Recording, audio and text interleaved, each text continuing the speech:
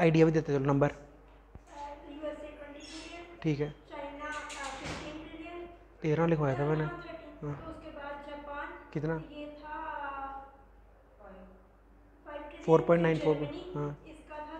Germany को तो हम अभी करने वाले हैं ओवरटेक थोड़े से टाइम में हाँ।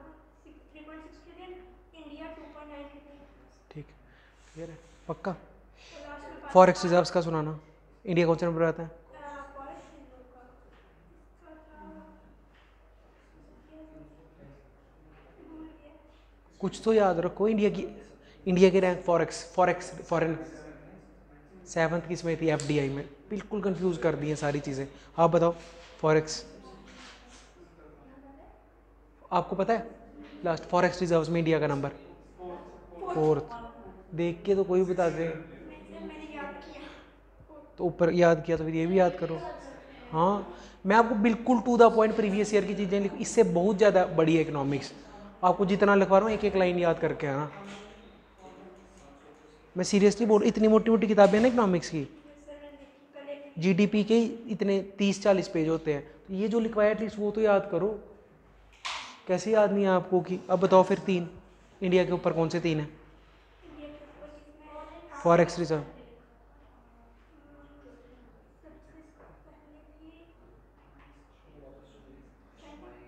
सबसे पहले चाइना बिल्कुल सही है, फिर? मैंने बताया भी था, चाइना का जितना फॉरेन एक्सचेंज रिज़र्व है ना, उतना इंडिया का जीडीपी है, तीन ट्रिलियन आगे? जापान यूएसए तेईस नंबर पे आता था। China, Japan, Singapore India GDP highest Indian state किसकी है? पर कैपिटा गोवा था कि हाँ गोवा, ठीक है। लाइफ एक्सपेक्टेंसी हाईएस्ट किसकी है इंडिया में। हाँ। सेकंड स्टेट वाइज वैसे। ऐसे दिल्ली की आई थी ना शायद सबसे ज़्यादा? अच्छा। एवरेज इंडिया की कितनी है? सेवन एवरेज लिटरेसी कितनी है इंडिया की? टू और लिटरेसी हाईएस्ट किसका है केरला का। एक कंसेप्ट लिखना है हमने, ठीक है? वो पहले समझ लो, ठीक है? तो एक चीज़ समझो, ये तो आपको पता होगा, मान लो ये है यूएसए ठीक है? ये है इंडिया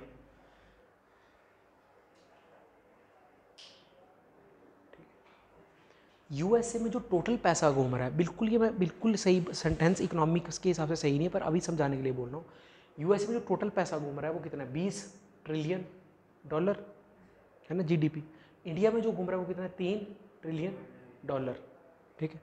यही है जीडीपी आपको पता है यूएसए में एक टॉफ़ी भी लेनी हो तो वो एक डॉलर की आती है। ठीक है? थोड़ी क्वालिटी उसकी अच्छी होती है। तो एक टॉफ़ी यहाँ पे, मान लो, एक स्निकर एक टॉफ़ी लेनी हो, वो एक डॉलर की आती है। एक डॉलर का मतलब है अस्सी रुपये यही मतलब है। ठीक है?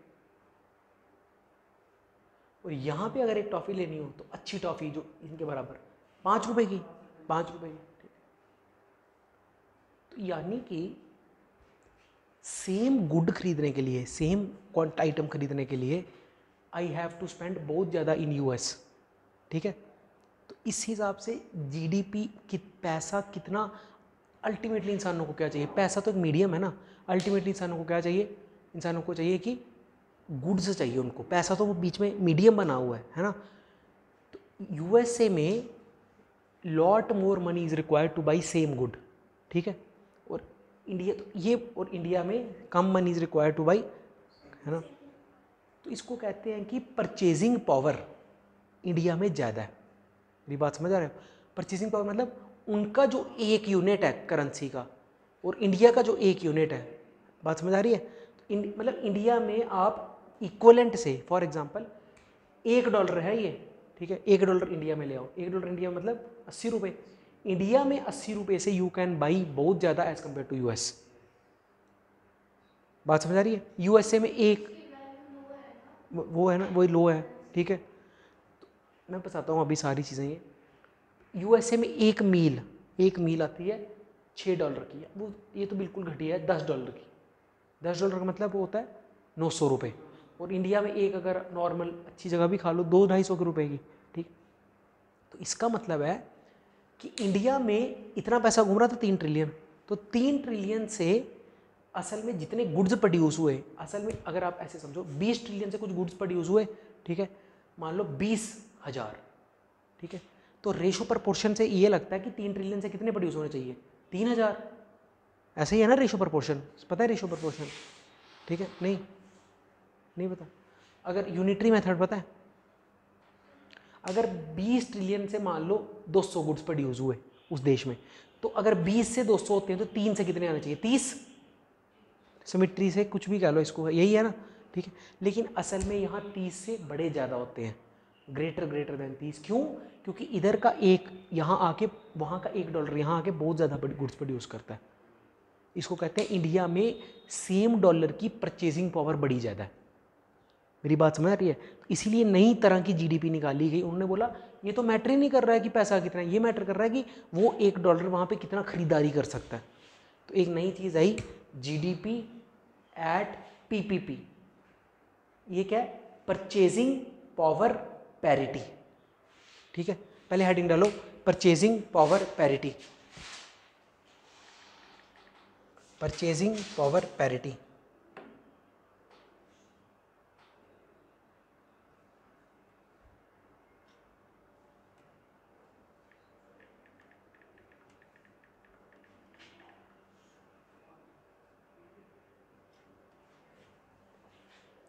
purchasing power parity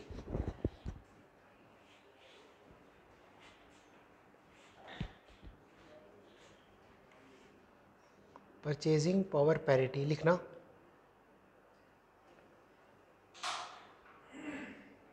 One dollar one dollar can produce can produce can produce much higher much higher much higher amount of goods amount of goods in India in India as compared to as compared to as compared to as compared to USA USA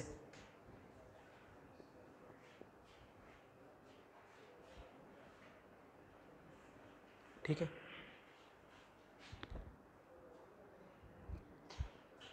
अब आप ना figure की form में याद रखा करो। For example इधर देखना। फॉर एग्ज़ाम्पल ये यूएसए ठीक है? ये है जीडीपी जीडीपी है बीस ट्रिलियन डॉलर तो लेट से गुड्स प्रोड्यूस हुए, ठीक है? लेट से यहाँ पे हुए बीस। बीस हुए, मान एज यो ये इंडिया ये है कितनी? तीन ट्रिलियन डॉलर तो आपको लगे यहाँ पे तीन होने चाहिए। होने चाहिए। ऐसा नहीं होता है। यहाँ पे कितने होंगे? लेट से ग्रेटर देन थ्री क्यों? क्योंकि यहाँ पे एक डॉलर अगर यहाँ पे एक एक ट्रिलियन डॉलर एक गुड प्रोड्यूस करता है तो यहाँ पे ऐसा नहीं होगा। यहाँ पे एक, दो या तीन करेगा। ये चीज़ है सारी, मैं समझा रहा हूँ। यहाँ इंडिया में आके वो डॉलर की वैल्यू बढ़ जाती है, वो ज़्यादा खरीदारी कर पाएगा। बात समझ आ रही है? ये बस चीज़ लिख लो।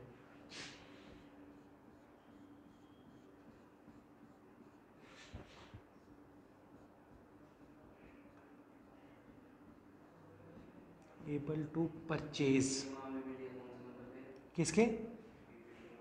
बता रहा हूँ, वो रैंकिंग आती है यूपीएससी में भी करवा रहा हूँ। परचेज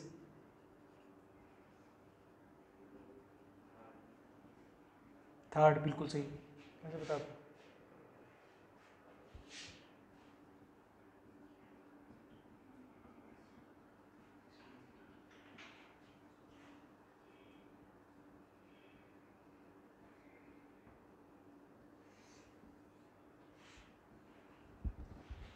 इसी को ऐसे भी कहते हैं।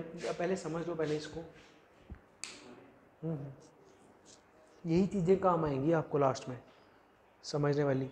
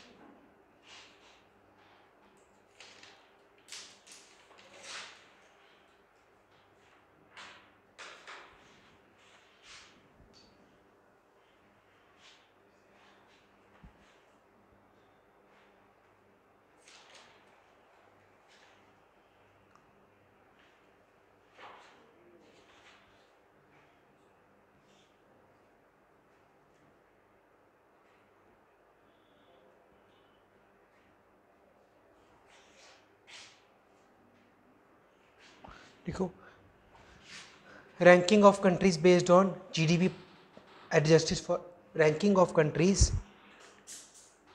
ranking of countries पहले एक चीज़ समझो, ये चीज़ ना देश के अंदर भी ट्रू है। फॉर एग्जांपल मुंबई में मुंबई में मुंबई में सौ रुपये से आप बड़ी कम चीज़ें खरीद सकते हो, बजाय जो सौ रुपये से इधर किसी गाँव में खरीद सकते हो। मेरी बात समझ आ रही है? ऐसा ही होता है ना? ठीक है तो परचेजिंग पावर पैरिटी सिर्फ़ देश में नहीं लगती। आप सिटी सीधी बात है ना ये, अगर आपकी सैलरी थर्टी थाउज़ेंड है तो you can live a very मतलब अच्छा लाइफ स्टाइल इन सम गाँव। लेकिन जम्मू में तो नहीं पॉसिबल है।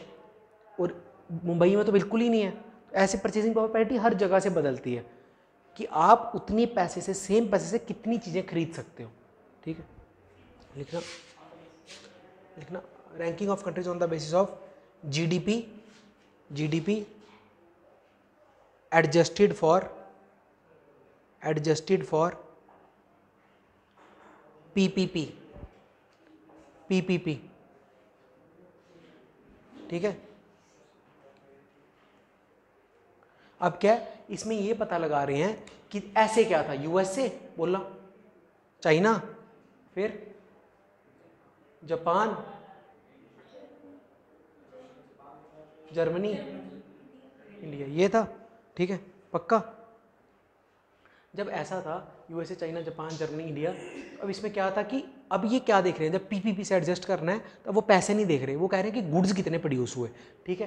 तो यूएसए का क्या था? बीस ट्रिलियन तो ये कितने गुड्स प्रोड्यूस करता होगा कुछ, ठीक है? चाइना भी कुछ करता होगा तेरह ट्रिलियन से जापान भी कुछ करता होगा पाँच ट्रिलियन से जर्मनी भी कुछ करता होगा तीन पॉइंट छः ट्रिलियन से। अब जो गुड्स प्रोड्यूस हुए ना नंबर में, उनकी रैंकिंग है। तो हो सकता है इंडिया तीन ट्रिलियन से जापान से ज़्यादा प्रोड्यूस कर देता हो। मेरी बात समझ आ रही है? पक्का? ठीक है, अब नंबर वन पे लिखो। सर नंबर वन पे आता है China China China number two पे आता है India sorry USA number two पे आता है यूएसए नंबर थ्री पे आता है इंडिया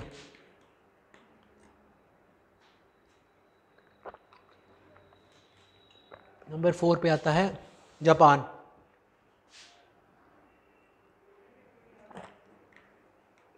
नंबर फाइव पे आता है जर्मनी। बस, इंडिया तीसरे पे आता है, बस ये याद रखना।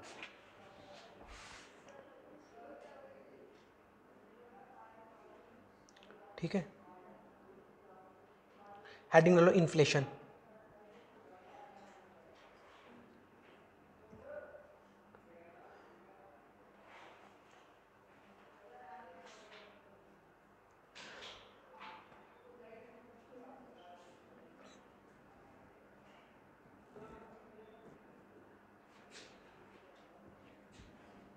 इन्फ्लेशन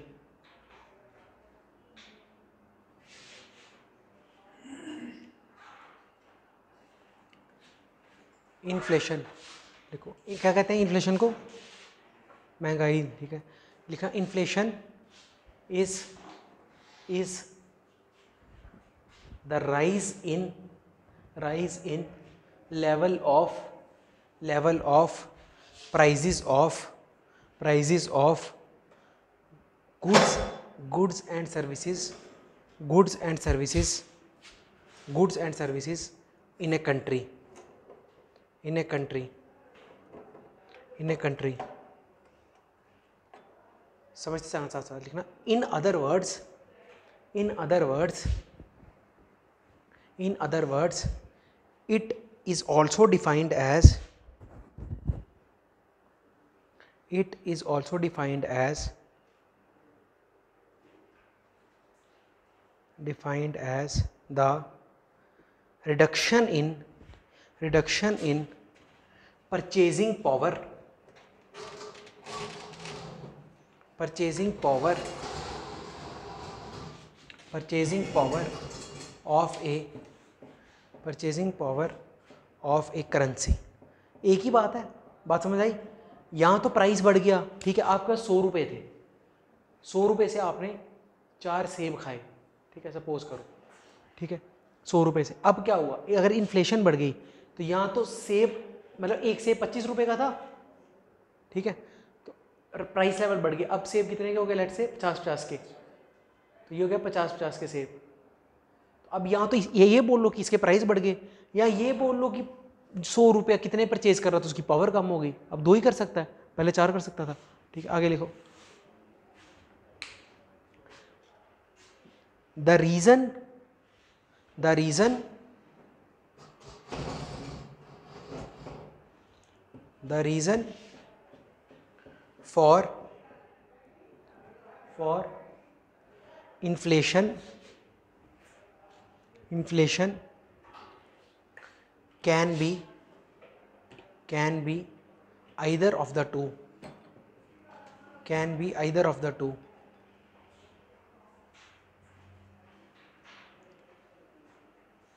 पहला। Increase in demand of goods increase in demand of goods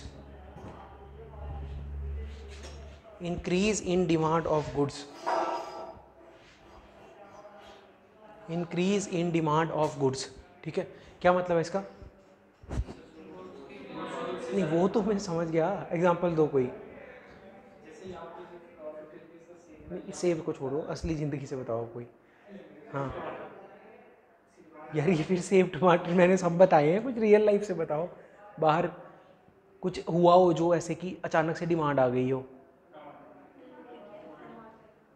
फिर टमाटर सेब के पीछे पड़े हो। ऑक्सीमीटर याद है कोविड के टाइम जिससे वो मेजर करते थे। उसकी डिमांड बढ़ी थी। एक एक ऑक्सीमीटर हज़ार हज़ार रुपए का भी बिका है। मास भी दस दस रुपए का बिका है। क्योंकि उस है ना? बात समझ आ रही है? इन्फ्लेशन हुई उस टाइम उस कॉमोडिटी की, ठीक है? सेकंड बताओ, ये लिख लिया पहला इंक्रीज इन ठीक है? अब कुछ भी एग्जांपल ब्रैकेट में लिख लो, कुछ, यही लिख लो ऑक्सीमीटर अब कल को कुछ एग्जांपल पूछ दो ऑक्सीमीटर नहीं बोल देना फिर से। क्या? Increase in demand of goods तो पहला ऑक्सीमीटर ऑक्सीमीटर दूसरा। दूसरा।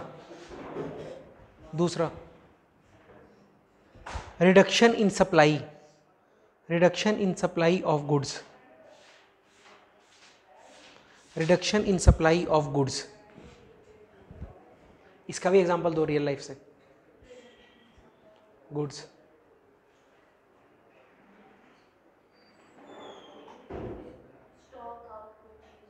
हाँ हाँ बोलो।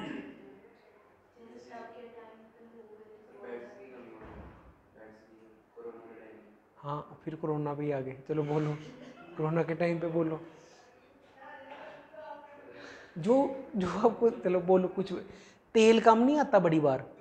बड़ी बार ऐसे आता ना कि अब तीन तीन अ, महीने तक तेल नहीं आएगा सऊदी अरबिया से। तेल पेट्रोल प्राइसेस बढ़ जाते हैं। वो ही तो है। ब्रैकेट में लिखो। Increase in fuel prices increase in fuel prices when imports stop when imports stop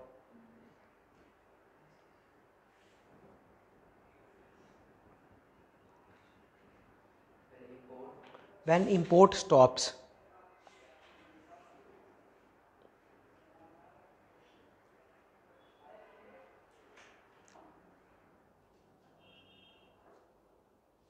ठीक है? सोच के करोगे अब क्वेश्चन बस इन्फ्लेशन समझ आती है ना आपको। दो क्वेश्चन तो इससे हो जाएँगे। लिखो question a rise in general level of prices question है। A rise in general level of prices a rise in general level of prices is called inflation is called inflation question है question है is called inflation is called inflation general level of prices is called inflation full stop it is caused by it is caused by caused by लिखो first one two three करके लिखना one an increase in money supply an increase in money supply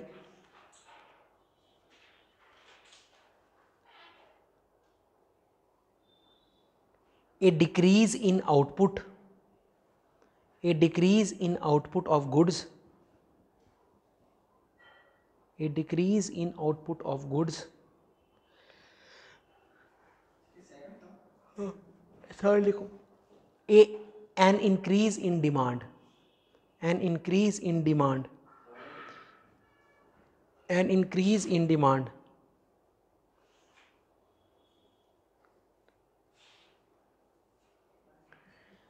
अब option लिखो A option है one only A option है one only B option है one and two C option है two and three D option है one two and three.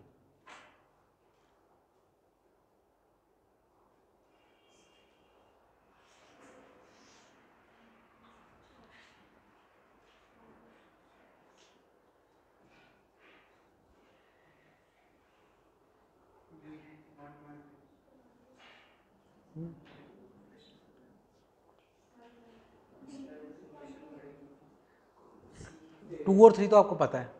आपका A R है? Two और थ्री क्यों नहीं है? वो वही मैंने समझाया आप कहने से पहले। जब आप आए उससे पहले ही आउटपुट अगर बढ़ जाएगी, ठीक है? क्या क्या बोलना क्या क्या? सेकंड स्टेटमेंट डिक्रीज लिखवाया ना मैंने? डिक्रीज लिखवाया तो डिक्रीज तो होगा। अगर बाहर से कम आ रहा है सामान, तब सेम पैसा कम्स के लिए ज़्यादा हो जाएगा ना? जैसे ऑयल के केस में हुआ सेकंड एग्जांपल यही तो ऑयल वाली। ठीक है? और तीनों ऑप्शन है इसके one two and three production production output of goods ठीक है? पक्का?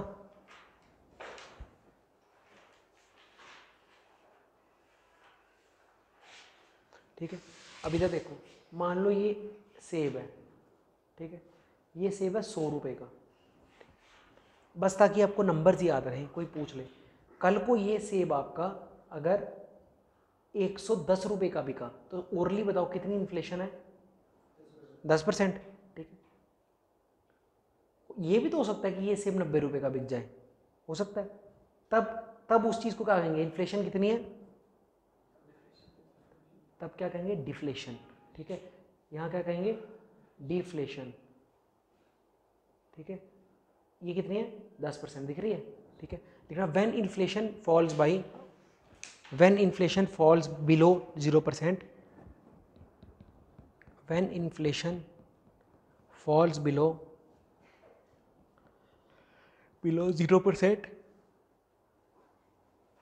comma comma, it is known as, it is known as deflation.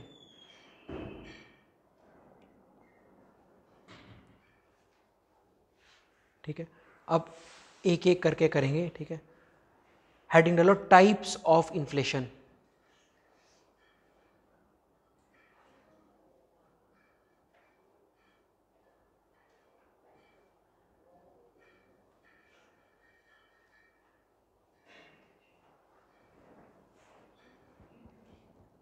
ठीक है? प्लीज़ सारी टाइप्स अच्छे से देखना, पक्का क्वेश्चन आएगा। पहला monetary inflation monetary inflation monetary inflation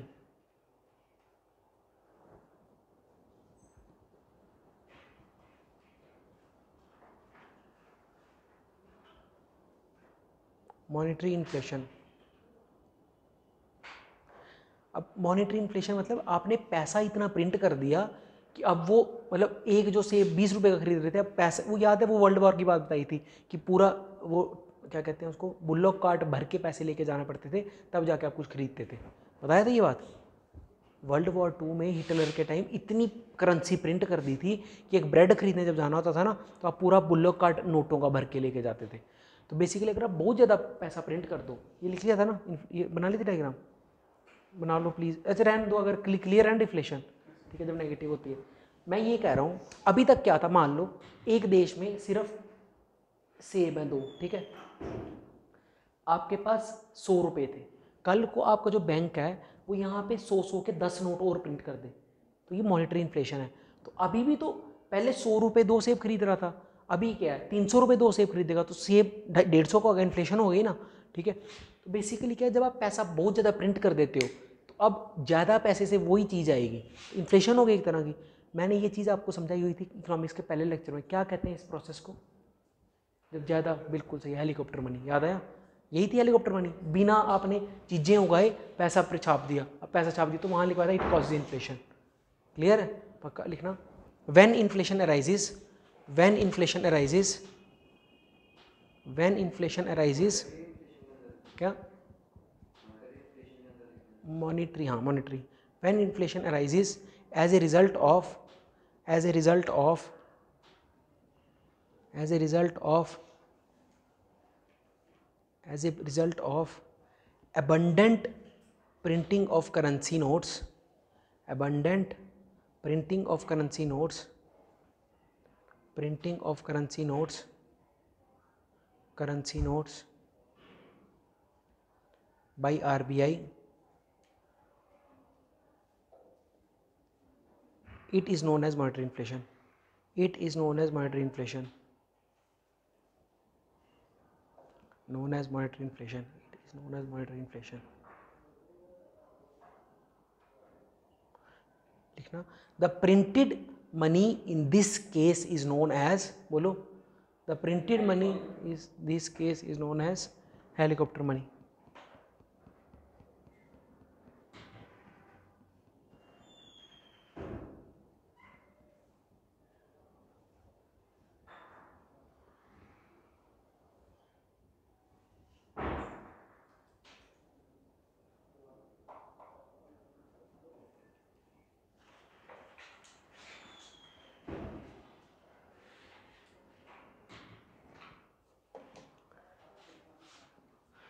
पहले एक चीज़ समझाओ, कोई आपसे, ये हो गया पहले क्लियर है, ठीक है?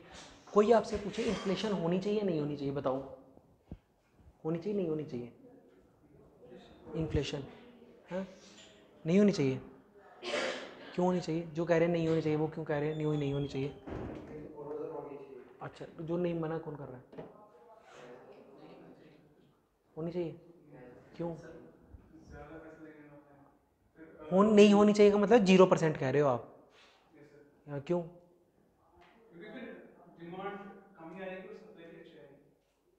अच्छा आप क्यों बोल रहे होनी चाहिए? क्या? पैसा तो है ऑलरेडी आप देखो सीधी सी बात है ध्यान से समझना। सपोज़ करो इन्फ्लेशन है ठीक है? सिंपल सी बात है आपको ये पता है कि लोग हर बंदा जो काम कर रहा है प्राइवेट सेक्टर लो अभी वो ये चाहता है कि आहिस्ता आहिस्ता मैं तरक्की करूँ लाइफ में, है ना? तरक्की किस सेंस में मेजर करते हैं हम? पैसे की सेंस में ही करते हैं ना सिर्फ़? वेजिस मेरी वेजिस बढ़े, ये सब बढ़े, यही चाहता है। तो अल्टीमेटली ये बंदा एक प्रोडक्ट या सर्विस का पार्ट है, जो जनता को मिलेगी। आहिस्ता आहिस्ता हर बंदा चाहता है कि मेरी तनख्वाह बढ़ती जाए सैलरीज बढ़ती जाए। तो जब इसकी बढ़ेंगी तो वो सर्विस जो ये ऑफ़र कर रहा है, वो भी तो बढ़ेगी। मेरी बात समझ रहे फॉर एग्ज़ाम्पल जैसे फॉर एग्जांपल आज से दस साल पहले ले लो, जो दिल्ली के कोचिंग सेंटर हैं जितने भी, ठीक है? एवरेज यूपीएससी कोचिंग सेंटर की फ़ीस कितनी होती होगी? तीस हज़ार, ठीक है? टीचर्स की सैलरी कितनी होती होगी उसमें से? जो भी मतलब तीस हज़ार लगा लो, ठीक है? अब टीचर्स को आहिस्ता आहिस्ता दस साल में ये लगा कि सैलरी बढ़नी चाहिए। एज ए रिज़ल्ट क्या हुआ? ये तीस हज़ार अब कितना पहुँच गया? दो लाख, ठीक है? तो एक लाइन बोली जाती है, क्योंकि हर बंदा एस्पायर करता है कि उसकी तरक्की हो, ठीक है? और हर बंदा किसी ना किसी गुडिया सिस्टम का पार्ट है, गुडिया सर्विस प्रोड्यूस कर रहा है। अब क्योंकि उसकी तरक्की होना का मतलब उसकी वेज बढ़ेगी, उसकी वेज बढ़ेगी तो वो गुड और सर्विस का प्राइस बढ़ेगा। तो some inflation is built in into the system ये होती होती, इसलिए ज़ीरो अगर हो जाए ना तो इसका मतलब वो देश तरक्की नहीं कर रहा है। मतलब उधर के लोगों को अपनी सैलरी बढ़ाने का भी तमन्ना नहीं है। मेरी बात समझ रहे हो? पक्की, पक्का? ठीक है? तो सेकेंड टाइप की इन्फ्लेशन है बिल्ट इन इन्फ्लेशन जो सिस्टम का पार्ट होती है built in inflation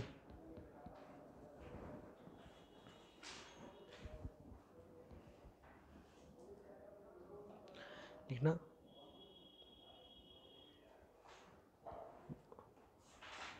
as time passes as time passes time passes workers demand workers मतलब सारे लोग जो काम करते हैं workers demand more and more wages more and more wages more and more wages to keep up to keep up with the with the to keep up with the standard of living with the क्यों क्यों वो salary बढ़ा रहे हैं अपनी क्योंकि standard of living चाहिए सबको मन करता है बढ़ाने का। To keep up with the standard of living लिखना। This increase in wages of workers this increase in wages of workers this increase in wages of workers workers ultimately ultimately results in results in in the rise of the rise of prices of prices of goods and services goods and services of which of which that worker is a part बात समझ आ रही है of which that worker is a part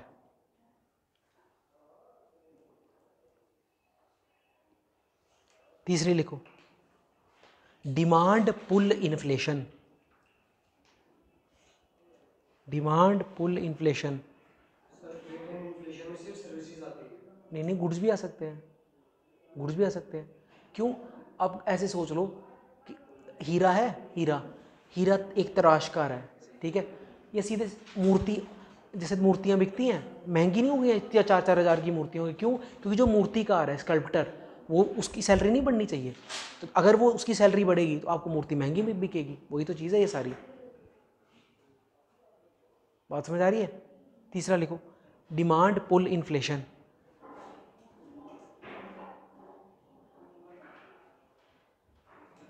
लिखना when people have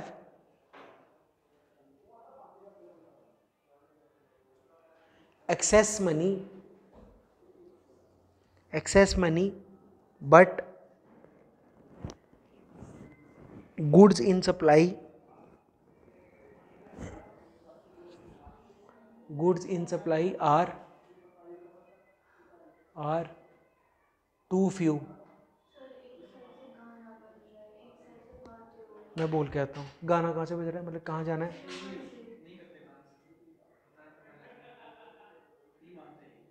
ऐसा है क्या?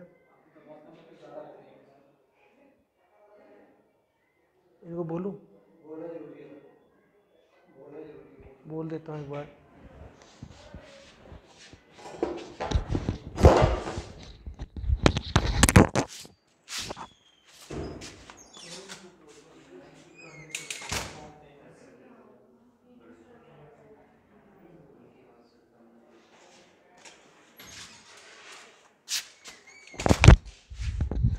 Demand क्या है व्हेन बहुत ज़्यादा पैसा चेजिस गुड्स ठीक है एग्ज़ाम्पल बताओ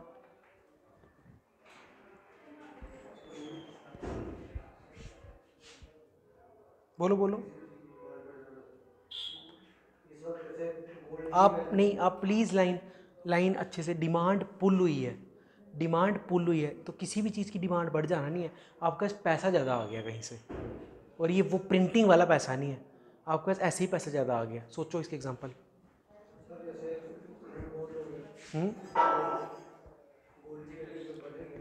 अच्छा।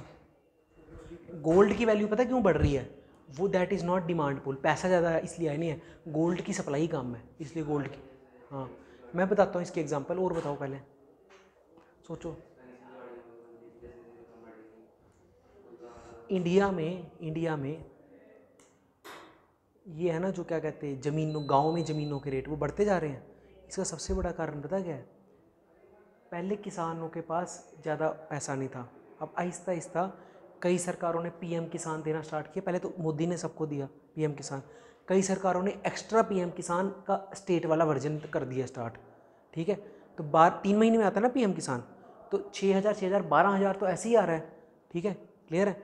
बारह हज़ार और इंटू चार कितना हो गया? अड़तालीस हज़ार।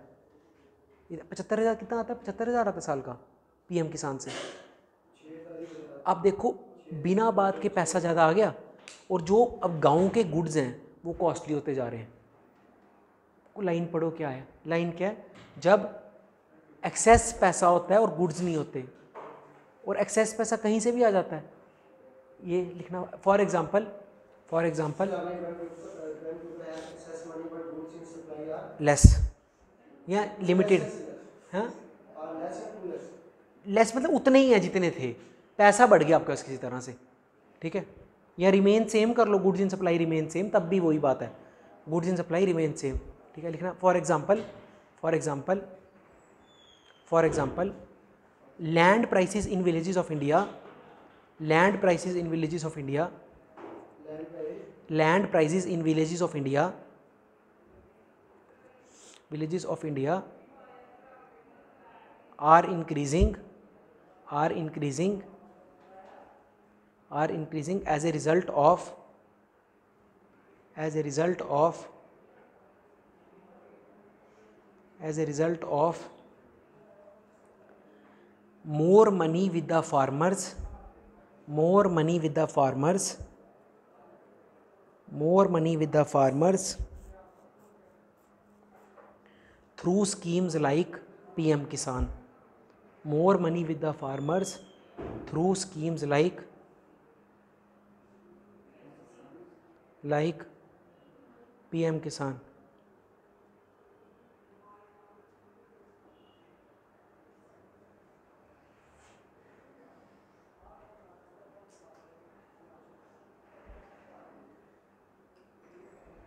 ठीक है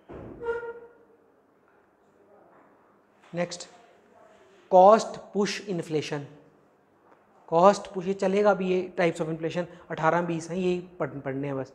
कॉस्ट पुश इन्फ्लेशन पक हाँ. नहीं तो कम पढ़ा नहीं तो बता दो, पर आएगा पेपर में इसमें से ही.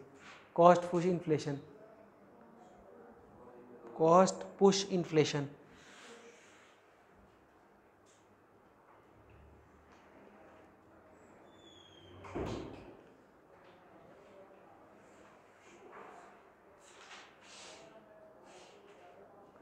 देखो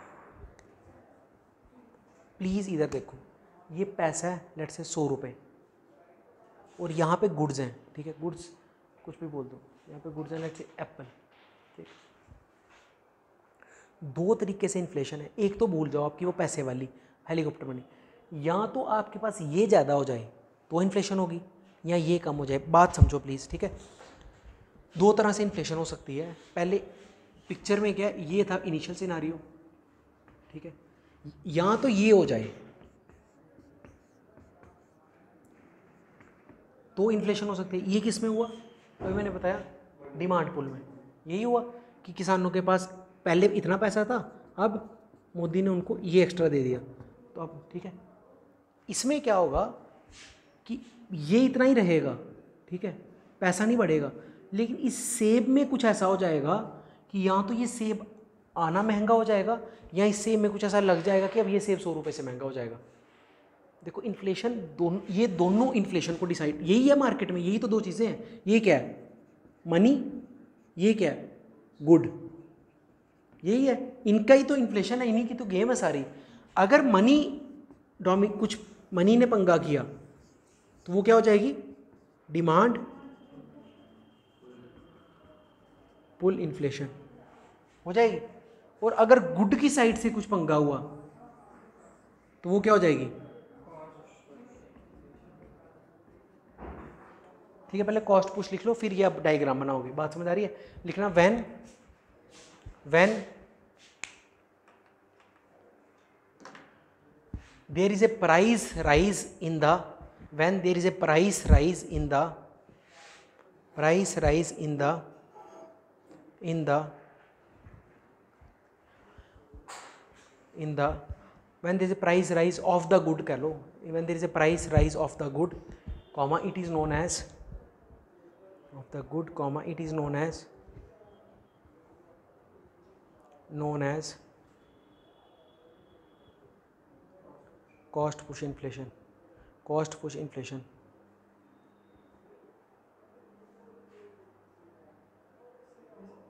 क्या एग्ज़ाम्पल अब आप बताओगे, बोलो।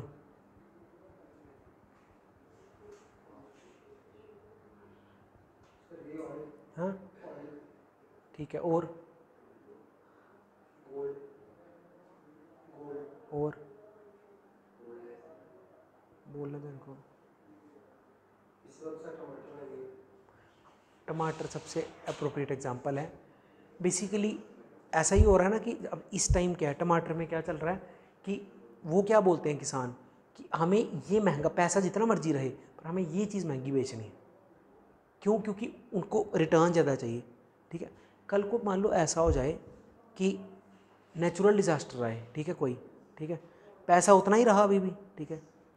और अचानक से ये हो जाए कि अर्थ को एक से वही बचेगा जो दिन के चार टमाटर खाता है। ऐसा कुछ भी हो सकता है ना? जैसे फॉर एग्जांपल कोविड में एवोकेडो नहीं मशहूर हो गए थे बड़े। एवोकेडो, पता है क्या होते हैं? एक तरह का फ्रूट था, कहते हैं, अगर वो खाओ तो कोविड नहीं होता। उसमें क्या हुआ? पैसा सेम रहा, लेकिन इस प्रोडक्ट की बस कॉस्ट बढ़ गई। ड्रैगन फ्रूट उस टाइम या नारियल पानी, डेंगू के टाइम अगर बढ़ जाए डेंगू। तो ये आप कॉस्ट पुश में याद रखना, जब गुड की प्राइस बढ़ जाती है। फॉर लिखो नीचे example example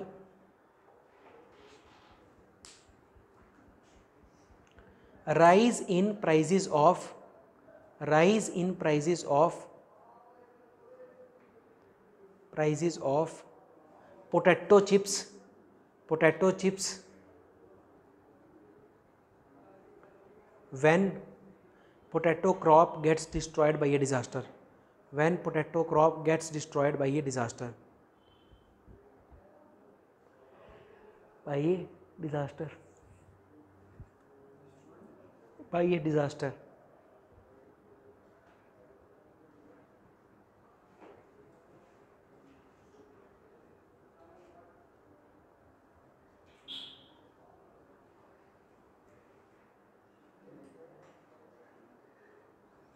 बना लो ये डायग्राम।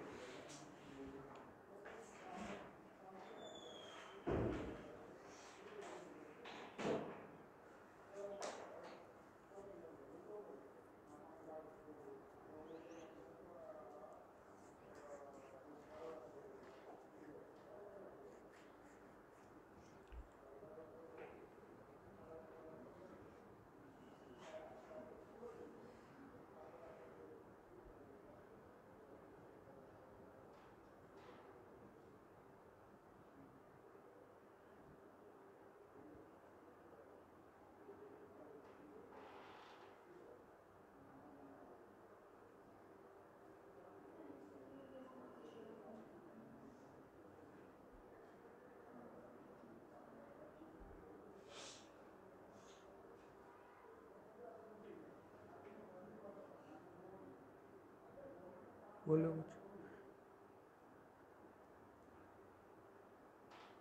डिफ्लेशन होना अच्छी बात है, बुरी बात है। प्राइसेस का कम होना ही तो अच्छी बात है। क्यों? फिर बुरी बात क्यों है? प्राइसेस का कम होना अच्छी, डिफ्लेशन समझते हो ना क्या होता है? क्या? Negative inflation. तो अच्छी बात है, बुरी बात है। अच्छी बात नहीं है?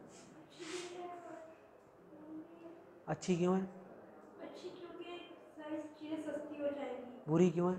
क्योंकि जब सस्ती हो जाएँगी तो फिर वो डिमांड बढ़ जाएगी चीज़ों की। तो मतलब चीज़ें कुछ के पास ही रहनी चाहिए।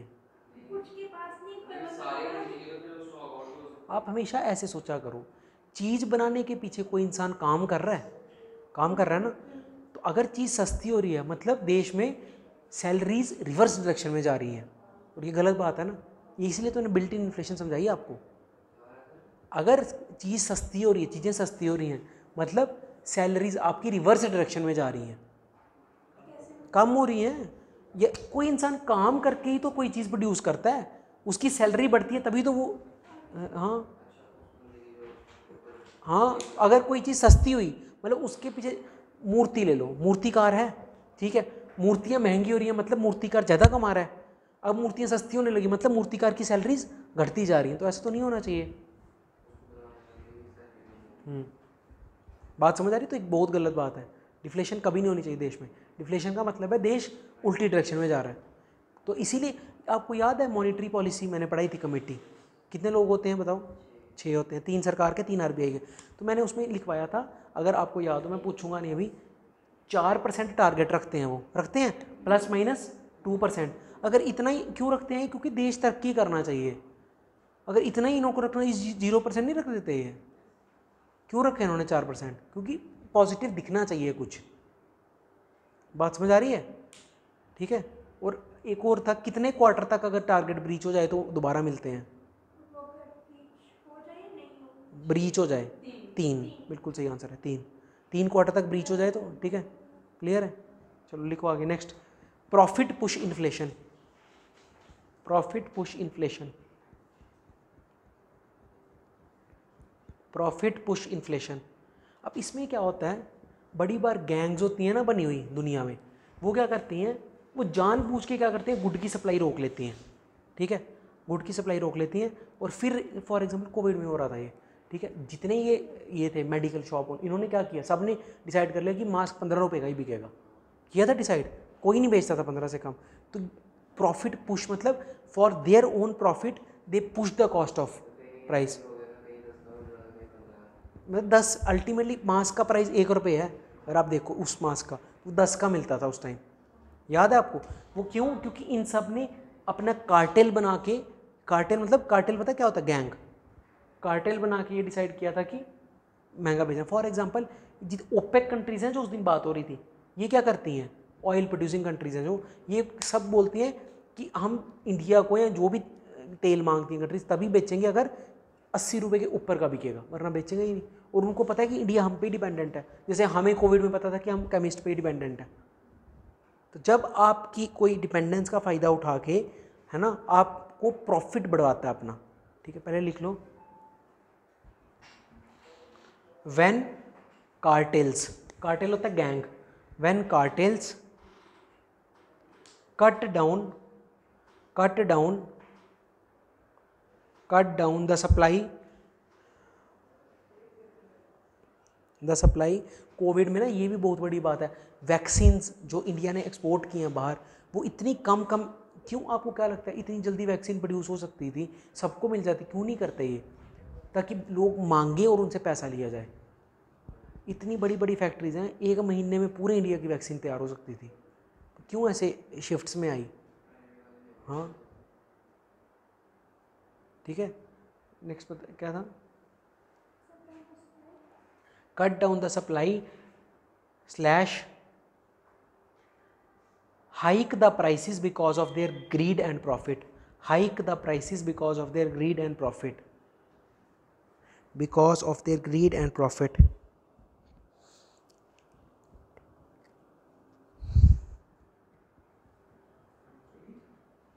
because of their greed and profit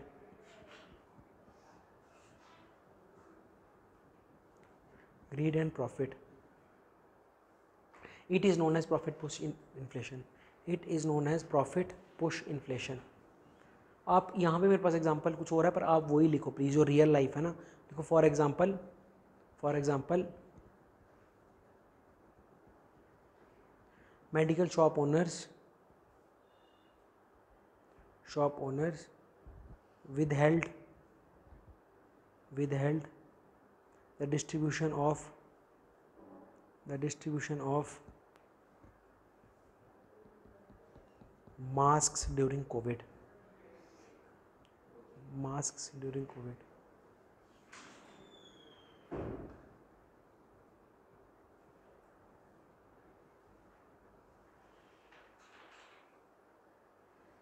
Next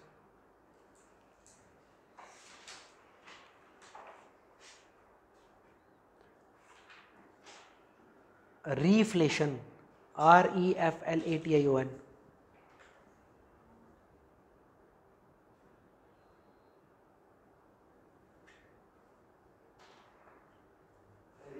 Reflation.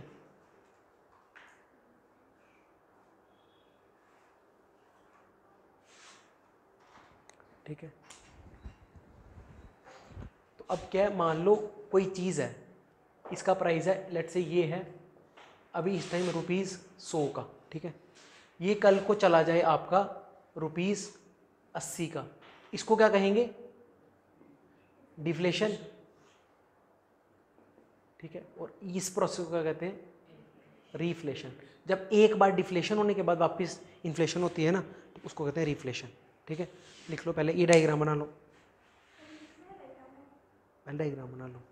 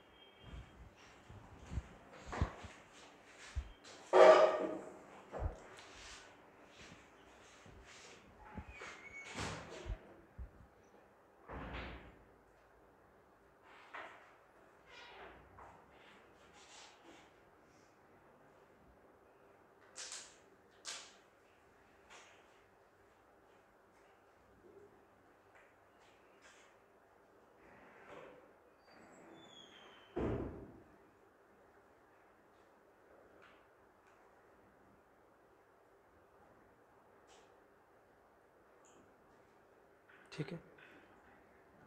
देखो inflation which is followed by deflation is known as inflation which is followed by deflation followed by deflation, is known as reflation, is known as deflation, reflation. Known as ठीक है? अब होता क्या usually reflation कैसे होती है? मान लो सरकार को दिख गया कि प्राइसेस कम हो रहे हैं हर चीज़ के, ठीक है? ऐसा दिख गया सरकार को। तो सरकार को ये भी दिख गया कि, मैंने आपको समझाया प्राइसेस कम हो रहे हैं, सरकार को ये भी दिख गया कि बेसिकली जो भी मॉनिटर कर रहा है मॉनिटरी पॉलिसी कमेटी देख रही होती है ना ये सारी चीज़ें तो उसको दिख गया कि सबकी सैलरीज भी कम हो रही हैं। उनको लग जाएगा पंगा हो गया तो रिफ्लेशन के लिए क्या करती है सरकार?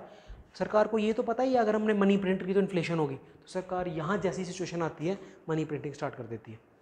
तो रिफ्लेशन इज़ ऑलवेज डन मतलब टू कैरी आउट रिफ्लेशन सरकार ऑलवेज गोज फॉर एक सिंगल स्टेप वो होता है प्रिंटिंग ऑफ़ मोर मनी बात क्लियर है ना पक्का? देखो डिफ्लेशन में क्या हुआ था? कम हो गया था। पर ये तो सबको क्लियर है ना कि अगर पैसा ज़्यादा प्रिंट होगा तो इन्फ्लेशन हो जाएगी। तो वो अपनी आप एक काम तो आता है इन्फ्लेशन करना तो अगर गलती से कभी डिफ्लेशन हो जाए, पैसा प्रिंट करो रिफ्लेशन हो जाएगी। बात समझ आ रही है? ठीक ना? To carry out reflation to carry out reflation to carry out reflation the government prints the government prints money the government reflation the government prints money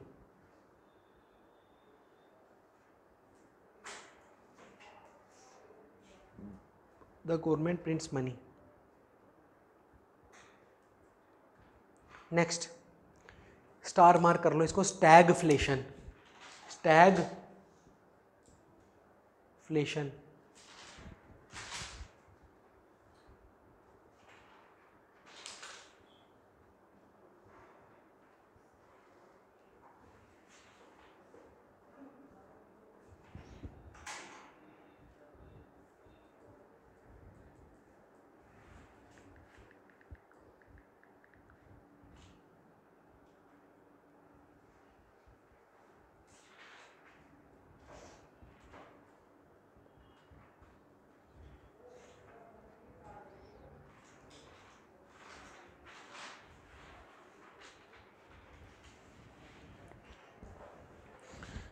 ये अब अगले दो तीन मिनट ना इंपॉर्टेंट है तो ध्यान से समझना। स्टैगफ्लेशन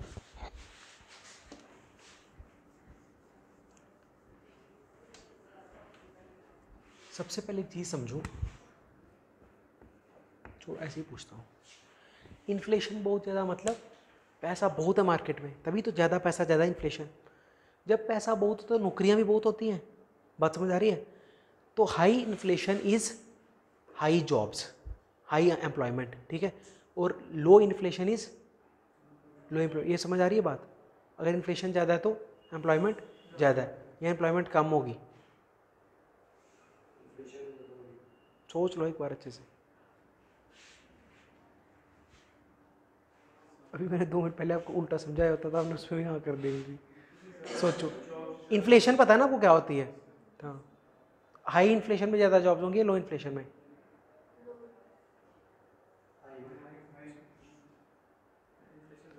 तो जॉब्स ज़्यादा होंगी ना पैसा ज़्यादा है। कौन कौन कह रहा है कि अगर ध्यान से देखना दो ग्राफ्स बना रहा हूँ आपके सामने ठीक है? लो इन्फ्लेशन पे ज़्यादा जॉब्स होंगी। कैसे? किसकी? अच्छा। लो इन्फ्लेशन पे तो डिमांड घट गई होती है। लो इन्फ्लेशन पे घट नहीं गई होती। हाँ सोचो आप सोचो।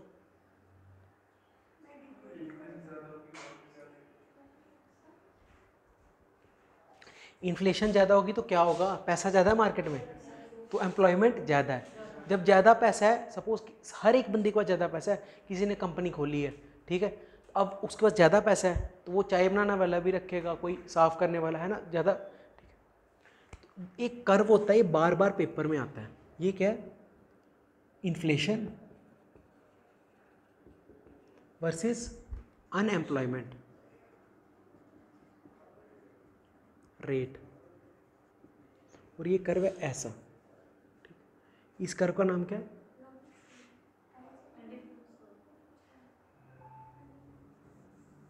बड़ा फ़ेमस नाम है उस बंदे का। अमेरिका का राजा था वो, यू यूके का राजा था। फिलिप्स कर्व सुना है? ये क्या कहता है? ये क्या कहता है? मतलब असली में भी हमें पता है, अगर इन्फ्लेशन ज़्यादा तो देश में नौकरियाँ ज़्यादा अनएम्प्लॉयमेंट रेट कम, और इन्फ्लेशन कम तो ज़्यादा। आप इन्फ्लेशन कम को ऐसे सोचो ना इन्फ्लेशन जब कम हुई है तो बेसिकली गुड्स के प्राइसेस घट गए हैं तो मतलब पक्का सैलरीज कम दी जा रही होंगी। पर ऐसा होता नहीं है सैलरीज कम दी जाएँ। लोग क्या करते हैं? एक आधे को बाहर निकाल देंगे और सैलरीज मेंटेन रखेंगे। बात समझ आ रही है? अगर गुड्स का प्राइस कम हुआ है basically you have in decrease salary सबकी, पर ऐसा कंपनी करती नहीं है कि सैलरी सबकी, क्योंकि किसी की सैलरी कम नहीं कर सकते आप। क्या? कम डिफ्लेशन होगी सब समझ, इसके रिस्पेक्ट में तो डिफ्लेशन ही है, ठीक है? क्लियर है? अगर कम इन्फ्लेशन है ना अब, इधर से इधर आने में तो सैलरीज कम हुई है ना। इन्फ्लेशन अगर कम हुई है तो है ना तो सैलरीज कम हुई है। सैलरीज अगर कम हुई हैं तो किसी को कम नहीं करते सैलरी तो निकाल देते हैं। तो अनएम्प्लॉयमेंट रेट बढ़ गया, ठीक है? तो ये कर्व होता है। तो पहले ये याद रखना। आप सुनो स्टैगफ्लेशन क्या होता है? स्टैगफ्लेशन देश में ऐसी समस्या होती है, जहाँ इन्फ्लेशन ज़्यादा होती है इन्फ्लेशन ज़्यादा होती है, लेकिन अनएम्प्लॉयमेंट भी ज़्यादा हो जाती है। मतलब आप कहीं यहाँ पे बैठे हुए हो, इसका कोई इलाज नहीं है। अगर कोई देश इसमें आ जाए ना तो फिर कोई इलाज नहीं है। इंडिया में इस टाइम यही चल रहा है। क्योंकि इंडिया में अनएम्प्लॉयमेंट बढ़ी जाता है इंडिया में इन्फ्लेशन भी बढ़ी जाता है। ठीक है? और स्टैगफ्लेशन में एक और चीज़ होती है कि इकोनॉमिक ग्रोथ भी कम हो जाती है नेगेटिव वो इंडिया में अभी है नहीं। प्लीज़ समझो, असली में होना चाहिए था ये। ये ग्राफ आएगा पेपर में, ठीक है? लेकिन इंडिया स्टैगफ्लेशन यहाँ होता है। पहले ये ग्राफ बनाओ, ठीक ना? हाँ? ये तो नरेंद्र मोदी को ही पता है वही करेगा। करेंगे। मोदी जी ही करेंगे। अमित शाह के साथ। Two greatest economist of all time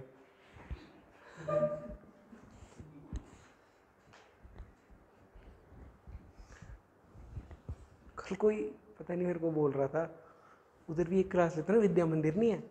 उधर कोई कह रहा था कि, sir, Amit Shah I I T N है। मैंने कहा हाँ। हाँ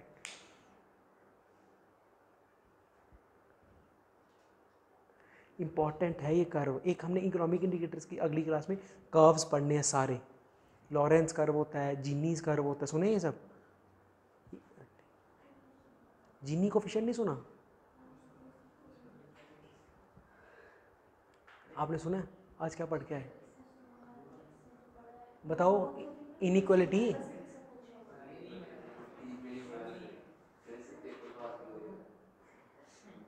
क्या क्या पढ़ के आए? सब्जेक्ट किसके, क्या लिख के आए?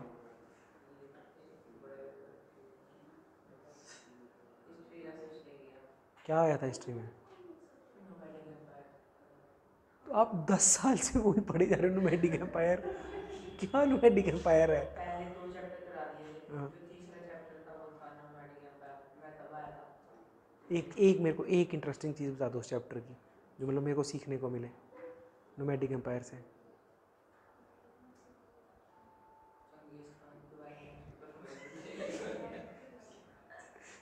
क्या है चंगेज़ खान के बारे में उसका असली नाम पता है मुझे हाँ तिमुजिन हाँ, हाँ।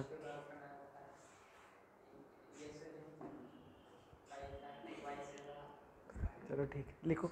ये बना लिया as per Phillips as per Phillips curve. Father Khan लिए का नाम था ओम खान वो उसकी उसकी एक में काम करता था चंगेज़ खान बुद्धिस्ट उसके भाई भी टुकड़ा दिए उसने अपने दोस्त भी टुकड़ा दिए उसके बच्चे लाखों हैं करोड़ों हैं एज पर फिलिप्स कर ये बना लिया? एज पर फिलिप्स कर लिखना। Stagflation is a scenario which disobeys the Phillips curve stagflation is a scenario which disobeys the Phillips curve disobey disobey करना मतलब इसके विपरीत जाता है, ठीक है? Which disobeys the Phillips curve the Phillips it is a scenario which disobeys the Phillips curve.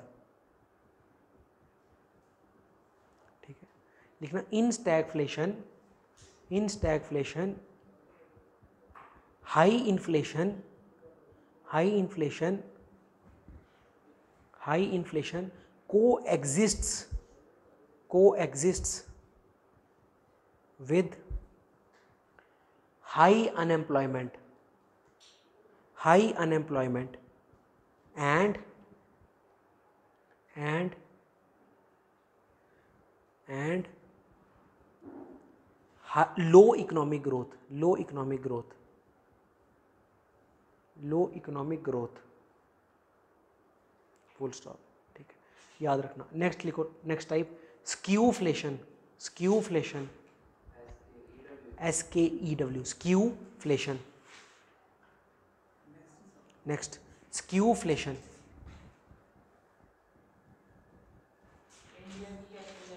क्या? क्या डाइग्राम नहीं डाइग्राम यही है। इंडिया वहाँ पे है, वो जो तारा बनाया है ना, वो ये लिख लो। स्टैगफ्लेशन। सही में वहीं पे है? बना लो वहाँ पे। डाइग्राम थोड़ी नहीं आएगी इंडिया की।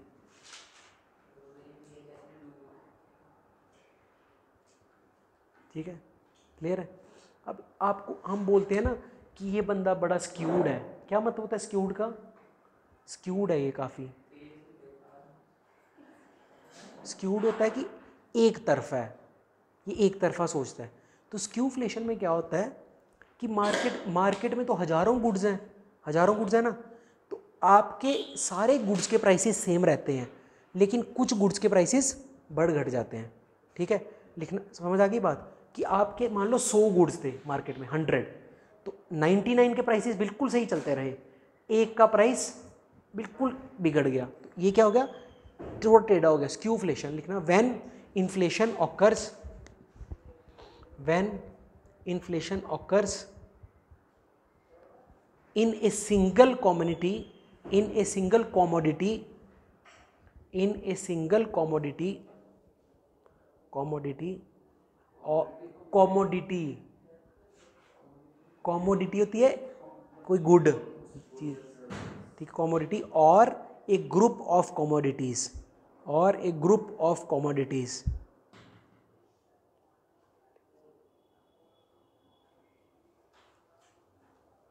ठीक है फॉर एग्ज़ाम्पल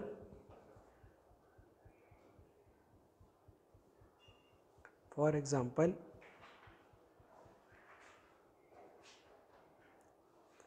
अगर पोटैटो क्रॉप डिस्ट्रॉय हो जाएगी, ठीक है? तो पोटैटो से सारे ड्राइव पोटैटो चिप्स वगैरह, ये सब महँगे हो जाएँगे। लेकिन उससे टोमेटो सॉस पे कोई फ़र्क पड़ेगा?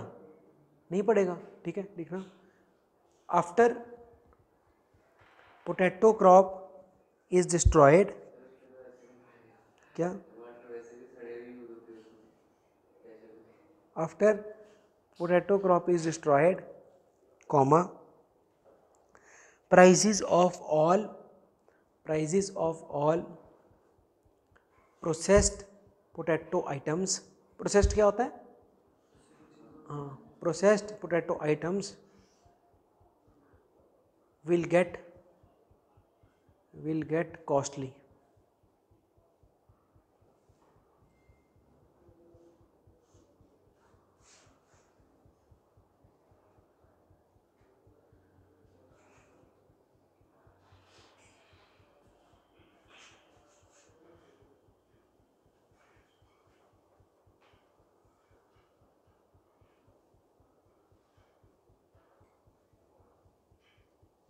will get costly अगली लिखो।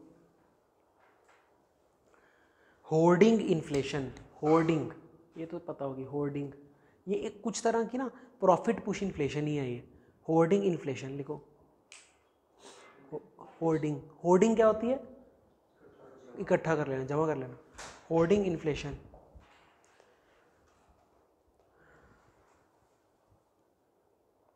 when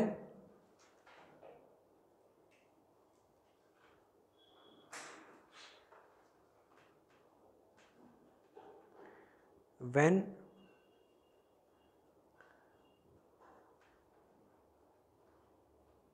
inflation arises because of because of increase in demand of goods increase in demand of goods as a result of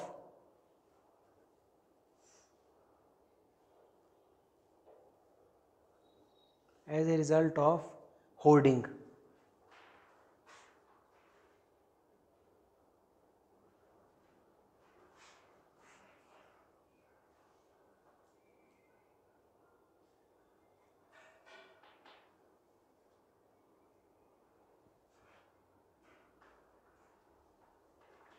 as a result of hoarding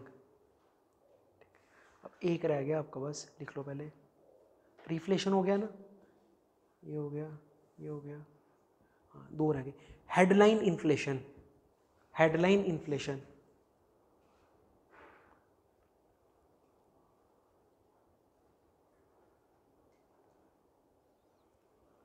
अब मेरी एक ध्यान से चीज़ समझो।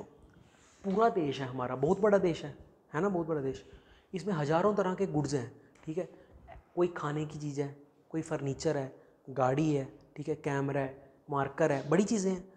तो सारी बराबर बराबर रेट से थोड़ी बढ़ रही हैं। हो सकता है ये एक परसेंट महँगी हुई, ये दस परसेंट महँगी हुई, ये है ना अलग अलग रेट से हैं। तो आप इसका एवरेज लोगे, ठीक है, ऐसा ही है ना, इसकी कुछ कुछ अलग अलग इन्फ्लेशन है सबकी सबकी एवरेज लोगे और फिर बता दोगे कि भाई पूरे देश की इन्फ्लेशन कितनी है। ऐसी, अब जो डेटा आता है कि आज इस साल इन्फ्लेशन दो परसेंट है तो वो दो परसेंट, ऐसा थोड़ी है कि हो सकता है फ़ोन दस परसेंट महँगे हुए हो, कोई चीज़ वो ज़ीरो परसेंट महँगी हुई हो। ऐसा ही होता है। तो headline inflation is a single number जो पूरी, अभी लिखना नहीं, जो पूरी देश की इन्फ्लेशन बताता है, ठीक है वेटेड एवरेज लेके। समझते हो वेटेड एवरेज वेटेड एवरेज समझते हो? कि मतलब अगर दस लोग ये यूज़ कर रहे हैं तो दस से इसको मल्टीप्लाई बीस लोग ये कर रहे हैं तो बीस से इसको मल्टीप्लाई है ना ठीक है? ठीक ना हेडलाइन इन्फ्लेशन रिफ्लेक्ट्स या gives an idea of it reflects या gives an idea of the average inflation in a country the average inflation in a country the average inflation in a country in a country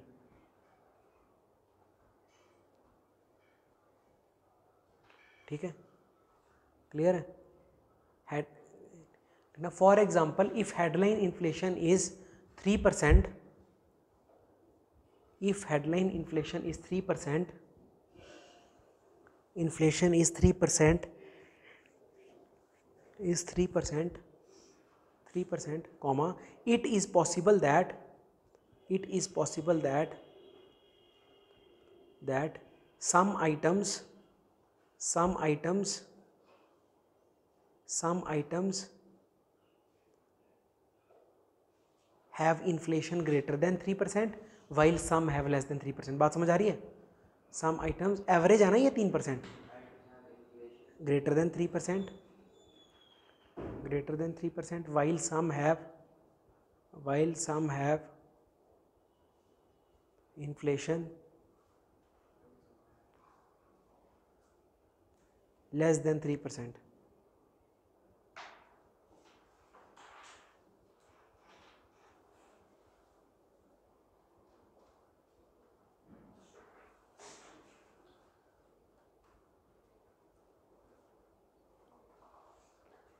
ठीक है? पक्का? अब होता क्या है? Please ध्यान से समझो। देश में ना इन्फ्लेशन हेडलाइन इन्फ्लेशन में दो चीज़ें हैं जिनका कुछ पता नहीं। देखो फ़ोन है, ये आराम से अपने महँगे हो रहे हैं। मार्कर आराम से महँगा हो रहा है, गाड़ी आराम से। दो चीज़ों का बिल्कुल नहीं पता होता। क्या? एक ऑयल ठीक है? इसका कोई पता नहीं। ये हो सकता है आज अगर एक बैरल सौ रुपये की है ना, ये कल तीन सौ रुपये का हो सकता है। सारी चीज़ उस पर वो रोक लेंगे। और दूसरा क्रॉप मतलब फ़ूड इसका भी कोई पता नहीं। कल को हो सकता है ऐसा बारिश पड़ जाए, पूरी फ़सल तबाह हो जाए तो कल ही डबल हो जाएँगे प्राइस तो ये दो एक्सट्रीमली वॉलेटाइल चीज़ें होती हैं देश में। ठीक है? तो इसको क्या बोला जाता है कि जैसे उन ये बोलते हैं कि भाई इन्फ्लेशन में ना इनको नहीं बताया करो। ठीक है? अभी मैं लिखवाऊँगा सारा। वो ये बोला जाता है कि इनको मत बताया करो, उससे नंबर्स मिसमैच क्योंकि आज आपने देश की इन्फ्लेशन बताई छः परसेंट। कल आप बोल दोगे साढ़े सात परसेंट, पता चला डेढ़ परसेंट का फ़र्क सिर्फ़ इनकी वजह से पड़ा, बाकी कोई चीज़ महँगी नहीं हुई थी। ठीक है? जब आप हेडलाइन इन्फ्लेशन में से ये दो चीज़ें वॉलेटाइल चीज़ें हटा देते हो तो आपके पास आती है कौन सी? नई इन्फ्लेशन कोर इन्फ्लेशन ठीक है? लिखो नेक्स्ट कोर इन्फ्लेशन कोर हाँ core inflation C O R E core inflation inflation लिखना लिखना एनर्जी ब्रैकेट में ऑयल एनर्जी ब्रैकेट में ऑयल एंड एनर्जी ब्रैकेट में oil and food food are the two most volatile are the two most volatile components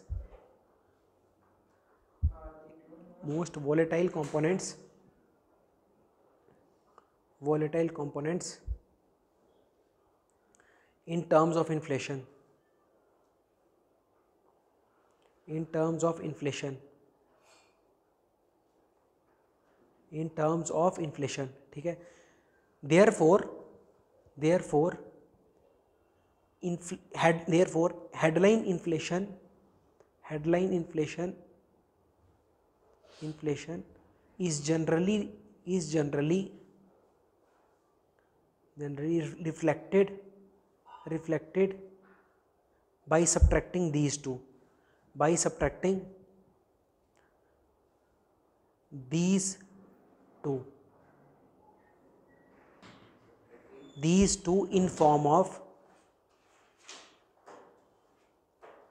in form of core inflation core inflation अब नीचे लिखो ऐसे core inflation पूरा पूरा लिखना core inflation is equal to headline inflation minus food minus minus food inflation minus क्या?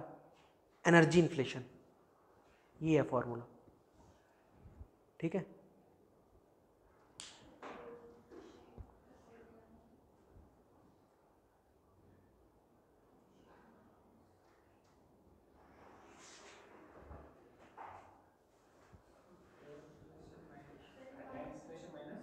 Core headline inflation में से आपने क्या क्या निकाल दिया? एनर्जी निकाल दिया और फ़ूड निकाल दिया। हाँ फ़ूड एंड एनर्जी फ़ूड ये क्या है? Food inflation energy inflation headline inflation अभी तो लिखवाया, अभी तो मैंने इंग्लिश में। नींद में थे आप? ठीक है?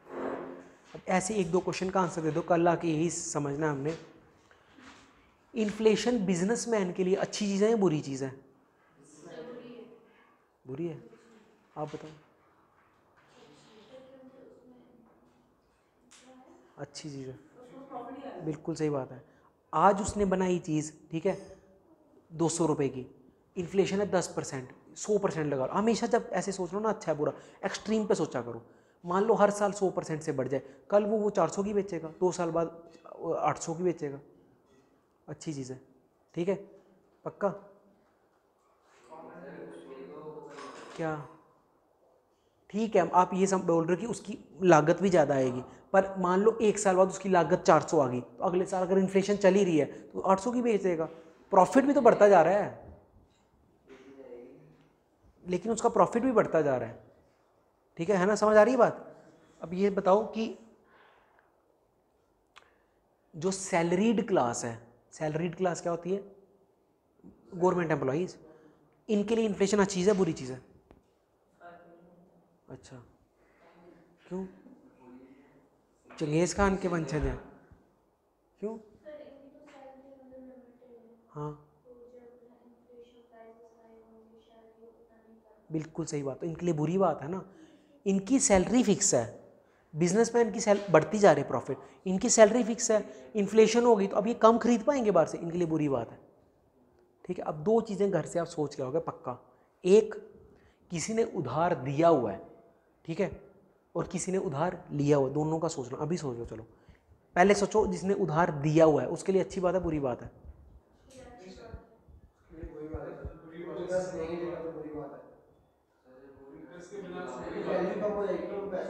बिल्कुल सही बात है। बिल्कुल सही बात है, उसके लिए बुरी बात है। वैल्यू कम हो जाएगी, ठीक है? खुद सोचो, उसने सौ रुपये दिए थे, ठीक है? वापस मांगे थे एक सौ आठ, पर इन्फ्लेशन हो गई दस परसेंट ऐसे ही उसका सौ रुपये एक सौ दस का हो जाना था। बात समझ आ रही है? और जिसने लिया हुआ उसके लिए अच्छी बात है। अब ये क्वेश्चन आते हैं पेपर में, कि अगर इन्फ्लेशन हो रही है इट इज़ गुड फॉर दुकान मतलब businessman it is bad for salaried class it is good for loan जिसने लिया ये कल अच्छे समझ के करेंगे। सोचना एक बार, ये चार लिख लो आप साइड पे ऐसे। बिजनेसमैन सोचना इसको प्लीज़ सोच के आना। Businessman salaried class salaried class और क्या था डेटर डेटर कौन होता है? जो लोन देता है। और क्रेडिटर नहीं, जो लेता है लोन वो क्या होता है? बोरोवर बोरोवर ठीक है? ये चार के लिए सोच के आना। पक्का सोच के आना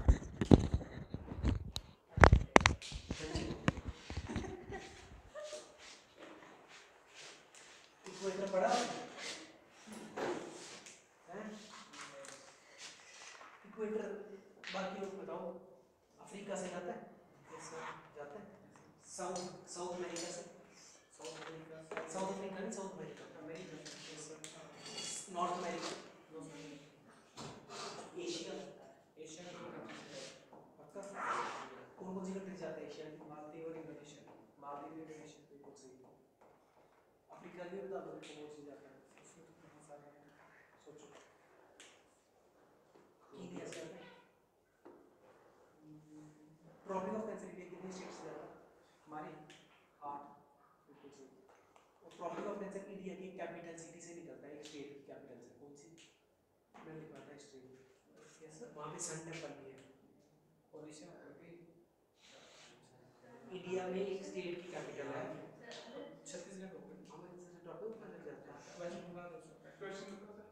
ट्रॉपिक ऑफ़ कैंसर जाता है इंडिया से। ठीक है? वो इंडिया की एक स्टेट की कैपिटल से निकलता है। और वहाँ पे लोग आजकल फ़ोटो खिंचा के इंस्टाग्राम पे डालते हैं।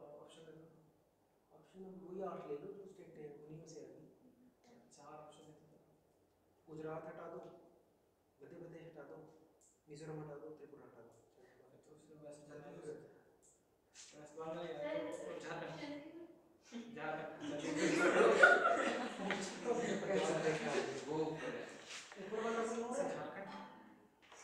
ऊपर है। से है ऊपर से एक आंसर जल्दी बोलो। सन टेंपल है वहाँ बहुत फ़ेमस रांची दिखवाया था रांची से ट्रॉपिक ऑफ़ कैंसर जाता है लोग फ़ोटो खिंचवाते हैं वहाँ ठीक है सन टेम्पल्स कितने इंडिया में जो आपको चार पाँच बताए थे बोलो ना कौन से सन टेम्पल्स ये वाला उत्तर वाला कौन सा है और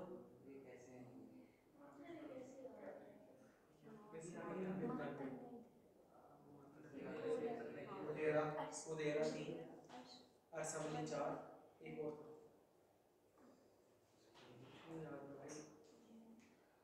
ये पढ़ के आना ठीक है कल है ना सेम टाइम